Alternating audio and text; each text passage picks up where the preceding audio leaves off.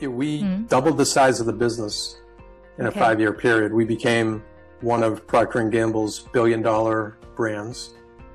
Uh, we'd like to think we were instrumental to the value creation of Gillette when they sold the business to Procter & Gamble.